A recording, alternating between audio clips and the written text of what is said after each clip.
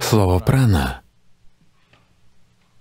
не имеет прямого соответствия в английском языке, но мы можем сказать, что это жизненная энергия. То, что мы называем жизненной энергией, и есть прана.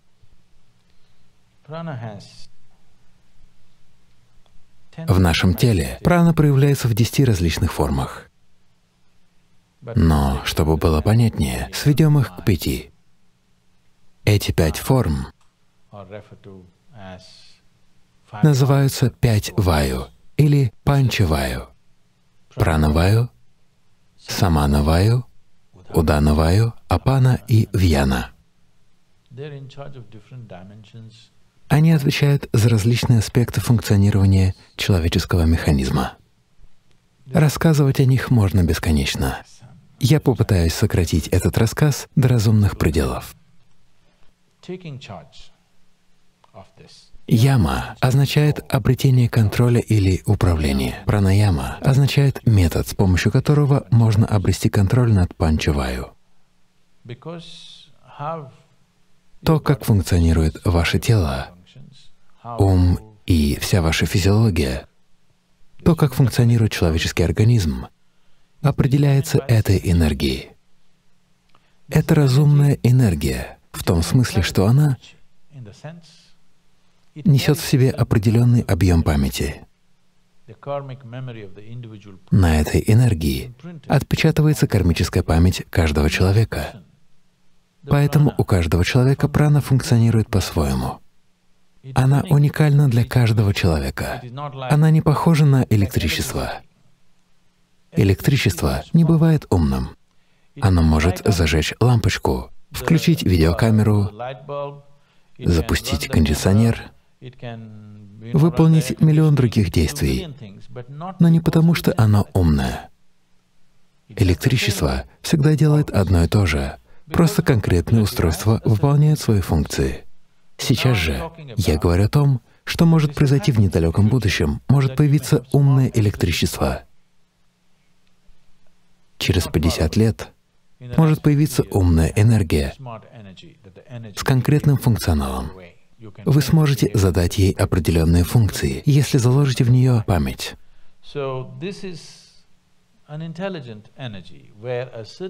Прана — это умная энергия, в которой заложен некоторый объем памяти, поэтому у каждого человека она функционирует по-своему. Есть невероятно тонкая форма пранаямы, когда мы прорабатываем подход каждому человеку в зависимости от его конкретного состояния. Чтобы выйти на такой уровень, необходима общая развитая пранаяма, которая заботится о всех пяти ваю. Если вы освоите эти пять ваю, для вас не будет существовать никаких недомоганий, физических, но в особенности нарушений психики. Это будет невозможно. Если вы будете управлять своей праной, то при любой внешней ситуации, под давлением эмоций, последствий и чего угодно, какой бы волной вас ни накрыло, у вас всегда будет стопроцентная гарантия психологического равновесия. Когда я говорю о равновесии, Вероятно, по медицинским показателям большинство из вас уравновешены. Но многие люди не уравновешены на уровне психики. Возьмем, к примеру, вашу руку. Представьте, что эта рука вдруг поднимается и тычет вам в глаз, царапает вас и бьет. Если ваша рука начнет вытворять подобное, это же болезнь, не так ли? Это как минимум болезнь руки. Я не буду винить всего человека, но, по крайней мере, ваша рука нездорова. Как раз это и происходит с умом большинства людей. Каждый день он вас бьет изнутри, заставляет плакать, кричать, волноваться, заставляет страдать, постоянно тычет вам в глаза. Не так ли? Ум болен?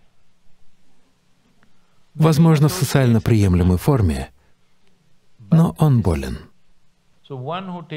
Тот, кто сможет установить контроль над своей праной, на сто процентов может быть уверен в своем непоколебимом психологическом равновесии.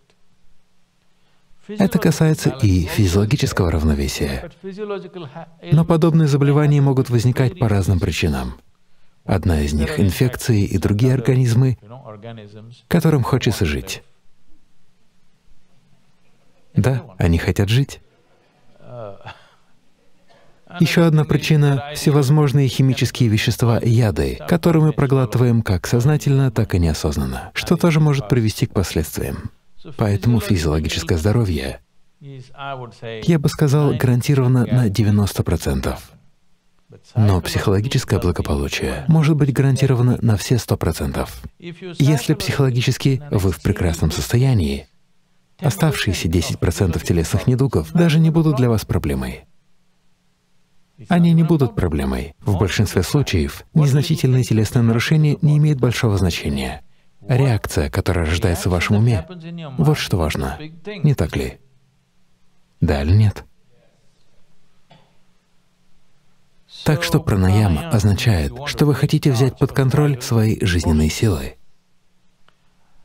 Как я уже сказал, все они обладают собственным разумом. При рождении или после зачатия то, как они входят в новорожденных и как покидают умерших, все это ясно показывает, что они обладают собственным разумом. Вы можете не замечать этого, если только не станете очень осознанными в этом смысле. Это целый мир, если хотите знать мое мнение. Необходимо иметь определенный уровень внимания. Слово «внимание» может быть недостаточно глубоким. Я использую слово «внимание», потому что другие слова сильно искажены. Слово «осознанность» и другие сильно искажены. Поэтому я использую слово «внимание». Однако слово «внимание» ведет не совсем к тому, что нужно. Одной только бдительности ума недостаточно. Необходимо обрести настоящее внимание. Если вы сделаете себя такими, то будете знать, как функционируют все пять ваю.